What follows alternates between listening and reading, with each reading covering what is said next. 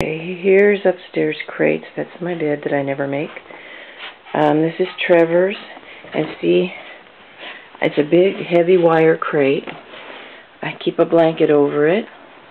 Then inside, he has the egg crate mattress with a bolster pillow there.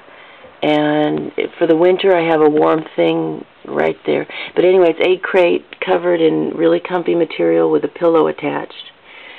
And then he gets blankets on top of him every night, which I have over the crate door, getting ready for them to go to bed tonight. And then here's Robbie's crate. Robbie likes to be secure. He has problems with security, so he has this little um, donut bed, which looks so comfortable in the catalog, but there's nothing to it. So I threw all this egg crating underneath and then I put, I just cover that because it's hard to clean egg crating. And have that. And then he has his blankets for tonight.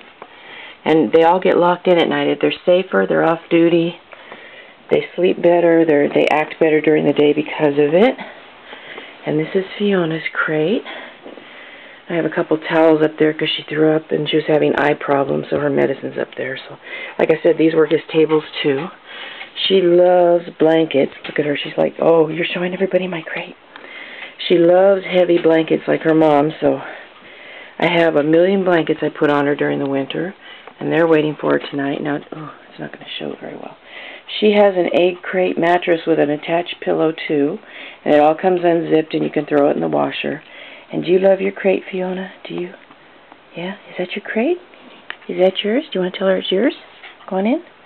No, you just smile and say hi. Okay. Okay, Linda, that's our crate tour.